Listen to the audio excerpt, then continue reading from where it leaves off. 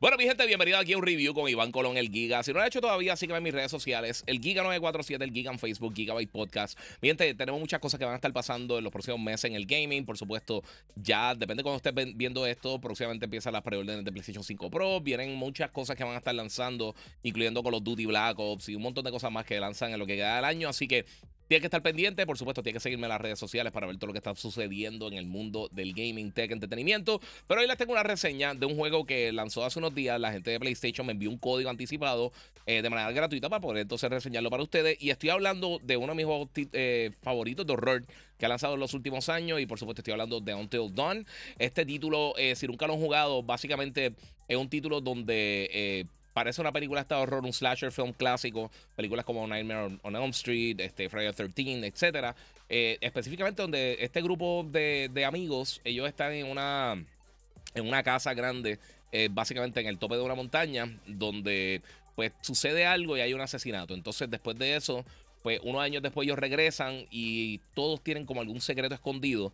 Eh, lo interesante de este juego es que como otros títulos que ha hecho la gente de Quantic Dreams, ha hecho eh, eh, la gente de Supermassive que trabajaron con este título originalmente y muchos otros estudios han hecho, eh, son de estos juegos que básicamente es una experiencia interactiva donde depende de las decisiones que tú tomas, cambia la narrativa totalmente del juego. Ahora, ya el juego había lanzado anteriormente y fue súper. Eh, o sea, es uno de mis juegos favoritos, exclusivos de PlayStation 4, súper entretenido. A mí me encanta este juego. Pero ahora le hicieron unos cambios. Primero todo lo están utilizando en Real Engine 5 y hay unos cambios visuales, pero también cambiaron la cámara. Ahora tiene una cámara, eh, lo que llaman behind the shoulder, detrás del hombro del, jugador.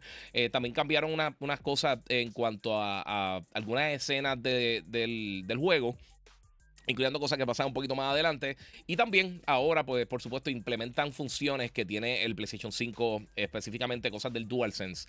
Eh, los el, el, haptic feedback, haptic triggers. Eh, también tiene audio 3D, que es una cosa que no estaba al momento del lanzamiento del juego originalmente. Este juego lanzó ahora para PC y para PlayStation 5, por supuesto, se lo conectan en PlayStation, en PC y utiliza el DualSense, pues entonces puede aprovechar toda esta funcionalidad. Y también recientemente se confirmó que va a recibir un update para el PlayStation 5 Pro, para poder aprovechar eh, funcionalidad de la nueva consola cuando lanza el 7 de noviembre.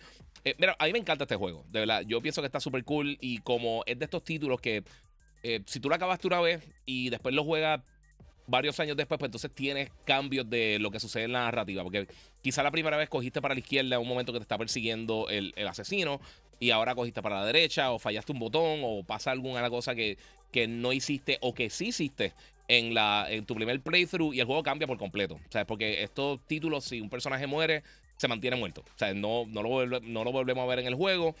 Y eso cambia mucho lo que es la, expectativa del título y, lo que la gente espera cuando está jugando este título.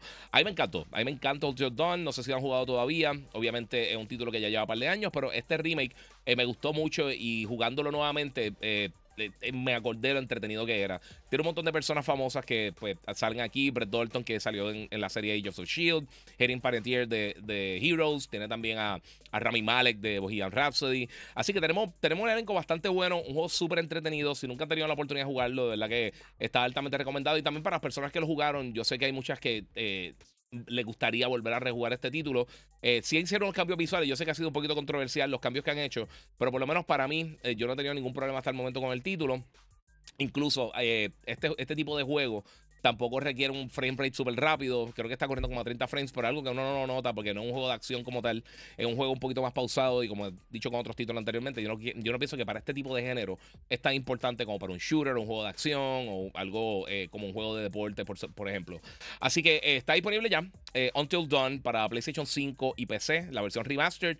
Como les dije, va a tener PlayStation 5 Enhanced, o sea que va a estar llegando con las actualizaciones más adelante cuando lance la consola. No sabemos si para el lanzamiento o un poquito más adelante, pero uno de los títulos que sí se confirmó que va a tener algún tipo de mejoras con la plataforma. Así que, mi gente, como les digo siempre, eh, muchas gracias a todos ustedes por apoyo. Recuerden seguirme en mis redes sociales, el Giga947, el Giga en Facebook, Gigabyte Podcast. Por supuesto, también muchas gracias a la gente de Monster Energy, que siempre está apoyando en todo mi contenido. Y como les digo siempre, gracias a todos ustedes por el apoyo. Y nuevamente, seguimos jugando.